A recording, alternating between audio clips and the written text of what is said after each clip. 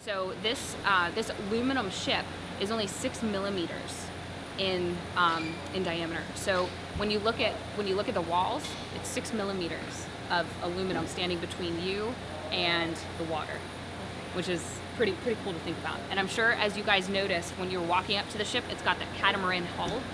The catamaran hull is meant um, it, it was it was built like that for speed. This is one of the fastest ships that we own. It goes over 40 knots at a um, at a minimal payload. So what we load onto the ship has a huge impact on its ability to go fast. Okay. Um, additionally, as as um, you guys probably also noticed coming in today, the ship is not painted. Did you notice that Yes. on the outside? Yes. It, it um, so it wasn't painted because it was also a consideration with speed.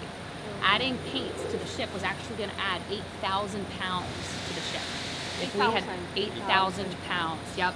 So we, we chose not to paint the ship in order for the ship to still be fast. And um, what I what I will tell you is that the USNS Millinocket, it's a joint high-speed vessel. That's the name, Joint High-Speed Vessel Number Three. It's the third ship in its class, and the Joint High-Speed Vessel, as you can understand from from just, just that simple um, classification, it's meant as a troop transport.